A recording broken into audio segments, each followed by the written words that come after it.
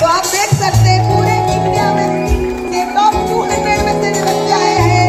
तो अमेजिंग ये speaker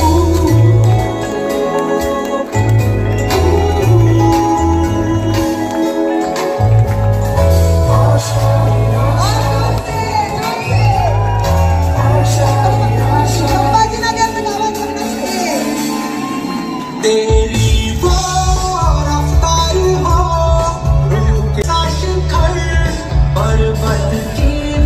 it all.